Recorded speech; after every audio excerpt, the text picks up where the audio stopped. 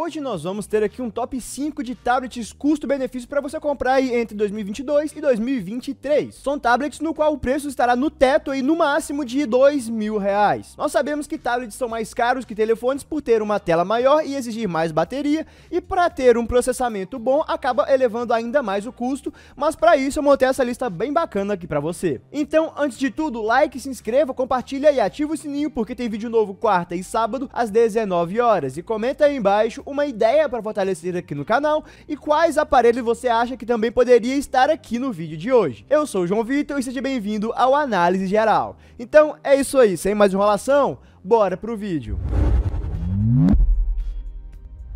Vamos começar a nossa lista de hoje falando do Samsung Galaxy Tab A8, que vem custando na faixa dos R$ 1.600. Lembrando que todos os tablets que eu citar aqui terá um link para você comprar aí com desconto aí na descrição do vídeo, beleza? O A8 vem atualizado de fábrica com o Android 11 e tem um bom processador de 2 GHz. Seu chipset é o Tiger T618. Sua GPU é a Mali G52 e ele vem aí com 3 GB de memória RAM e 32 de armazenamento interno, podendo ser expansível com cartão de memória, te possibilitando que você possa ir navegar na internet, usar redes sociais e alguns jogos um pouco mais leves sem ter muitos travamentos, sem ter engasgos. Porém, em tarefas mais pesadas, ele acaba deixando um pouco a desejar. Ele tem uma tela de 10.5 polegadas com a resolução Full HD+.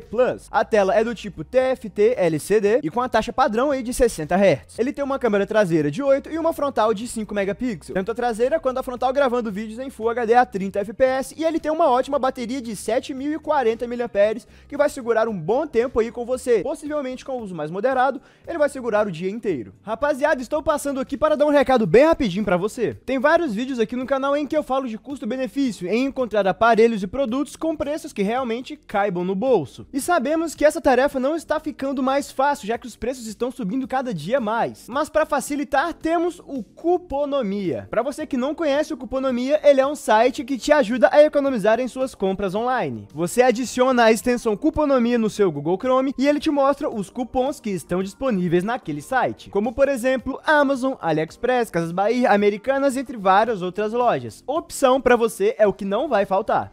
Adicionando a extensão, você consegue cupons que te dão desconto e até cashback. O Cuponomia monitora os cupons que estão disponíveis para você economizar ao máximo em suas compras. Ele te oferece uma variedade imensa de lojas parceiras para você ter uma variedade enorme aí nas suas escolhas. E uma coisa bem legal é que se você cadastrar com o link que está aí na descrição e no comentário fixado, você ganha 5 reais apenas para se cadastrar no site. E você também pode indicar os seus amigos para participar dessa brincadeira. Aí você e os seus amigos vão aí receber esse bônus do Cuponomia. Curtiu a dica? dica, clique no link aqui embaixo, se cadastra e comece a economizar agora. Agora vamos falar do Samsung Galaxy Tab A7 Lite, que vem custando na faixa dos R$ 1.380. Ele vem atualizado de fábrica com o Android 11 e tem um ótimo processador de 2.3 GHz. Seu chipset é o Helio P22T, sua GPU é a PowerVR e vem com 3 GB de memória RAM e 32 de armazenamento interno, sendo expansível também com o cartão de memória, sendo uma boa opção para alguns jogos um pouco mais exigentes, porém com os gráficos mais reduzidos. Sua tela tem 8.7 polegadas com a resolução HD+, a tela é do tipo TFT LCD. O A7 Lite vem com uma câmera traseira de 8 e uma frontal de 2 megapixels, tanto a traseira quanto a frontal gravando vídeos em Full HD a 30 FPS. Ele vem com a entrada para carregamento do tipo USB-C 2.0 e ele tem uma ótima bateria de 5.100 mAh que pode segurar boa parte do dia com o uso um pouco mais moderado. Dando sequência, vamos falar agora do Galaxy Tab A7, que vem custando na faixa dos R$ 1.900. Ele vem atualizado de fábrica com o Android 10 e tem um ótimo processador de 2 GHz. Seu chipset é o Snapdragon 662 com a GPU Adreno 610, vindo aí com 3 GB de memória RAM e 32 de armazenamento interno, sendo expansível com o cartão de memória. Esse já segurando um pouco melhor aí os jogos aí um pouco mais exigentes, como por exemplo o Call of Duty, um Free Fire, talvez ali um PUBG com os gráficos reduzidos, você consiga rodar aí bem legal no Tab A7. Sua tela tem 10.4 polegadas com a resolução Full HD Plus e a sua tela sendo do tipo LCD. Sua câmera traseira vindo com 8 megapixels e a frontal com 5, ambas gravando em Full HD a 30 FPS. Sua entrada para carregamento é do tipo USB-C 2.0 e ele vem com uma ótima bateria de 7040 mAh segurando o dia inteiro com um uso mais simples. Esse com certeza vem valendo muito pelo seu preço.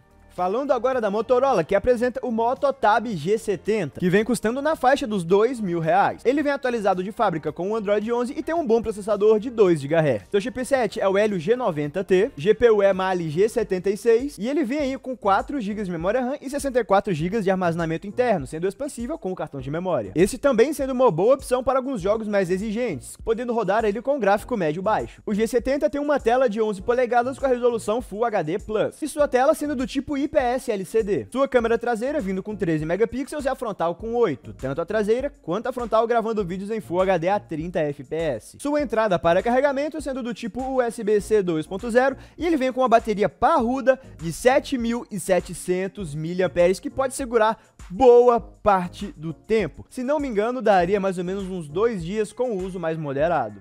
Finalizando, vamos falar do Lenovo Tab P11 Plus, que vem custando aí na faixa dos R$ 1.800. Ele vem atualizado de fábrica com o Android 11 e tem um bom processador de 2 GHz. Seu chipset sendo o Helio G90T, sua GPU é a Mali G76 e ele vem com 4 GB de memória RAM e 128 GB de armazenamento interno, sendo expansível com o cartão de memória. O P11 Plus sendo uma ótima opção para você que busca ter muito espaço de armazenamento aí no seu tablet. Fora que pelo processamento e pela memória RAM ele consegue tancar alguns jogos também mais exigentes, como por exemplo Call of Duty, talvez um PUBG, um Free Fire. Ele tem uma tela de 11 polegadas com a resolução Full HD Plus e a tela do tipo IPS LCD, vindo com a câmera traseira de 13 e a frontal de 8 megapixels, tanto a traseira quanto a frontal gravando vídeos em Full HD a 30 FPS. Entrada para carregamento é do tipo USB-C 2.0 e ele vem com a bateria parruda 7700 mAh. Agora me disse por R$ 1.800 não vale pegar um tablet com 4 GB de memória RAM, 128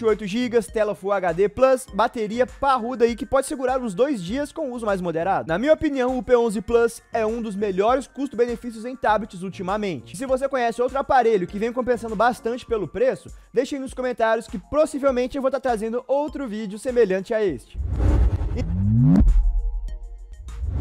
Então, meu amigo, o vídeo foi esse. Eu espero que tenha gostado. Se você gostou, like, se inscreva, compartilha e ative o sininho porque tem vídeo novo quarta e sábado às 19 horas. E não se esqueça de olhar na descrição o link para você adquirir qualquer um dos modelos que eu citei aqui hoje, beleza?